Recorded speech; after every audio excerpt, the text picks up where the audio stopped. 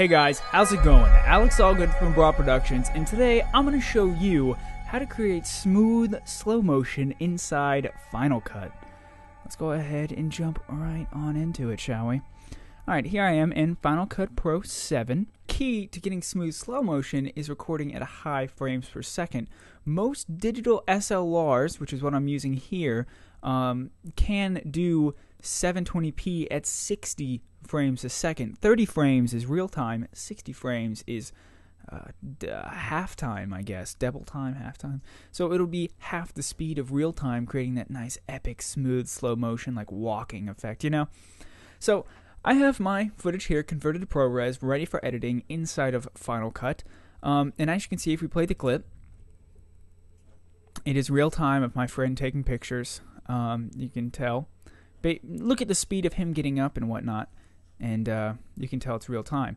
So I want this to be conformed to 30 frames a second. So let's select the clip in our browser, go up to View, and go to Open in Cinema Tools.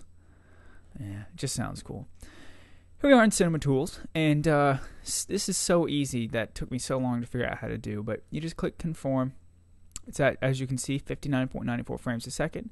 Conform to 29.97. Of course, you can change this to whatever you want. If you want it to be in 23.98 uh, or 24, choose that. For this, I'm just going to keep it at 29.97, depending on what you're doing. And click Conform. And now, as you can see, we get that nice smooth slow motion. And uh, now, really, you just have to uh, don't exit out, but you're back into it, and Final Cut automatically updates to that. So you don't have to like conf- render anything or anything out. As you can see, it's automatically conformed. Nothing else you have to do. And if we drag this into our timeline, you can now see that we have smooth slow motion in our timeline. Well, that's a bad example. Let's go back to the beginning where he's getting up. As you can see, really easy, super easy to do.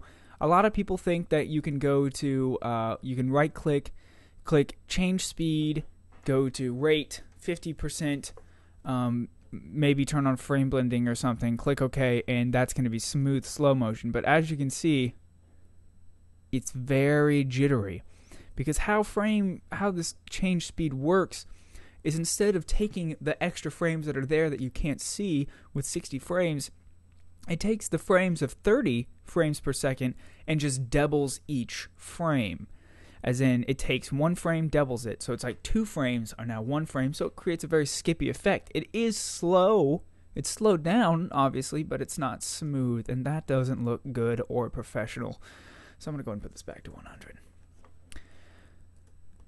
Now, if you want to get really technical, you can add certain plugins that'll somewhat make up frames. So you'll have two frames, and it'll make up a couple frames in between that, so you can get to like a thousand frames a second.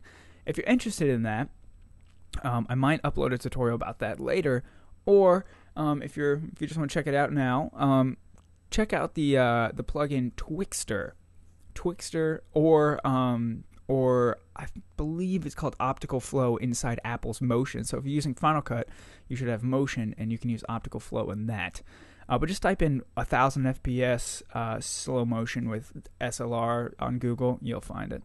Um, but that's it, guys. It's really easy to do. Literally just uh, view, open Cinema Tools, conform, yada yada, good to go. If you guys have any problems or concerns, leave a message or video response below. I would love that. And check out my other tutorials. If this is your first time seeing it, please subscribe. As usual, if you guys need any help again, let me know. And happy, happy editing.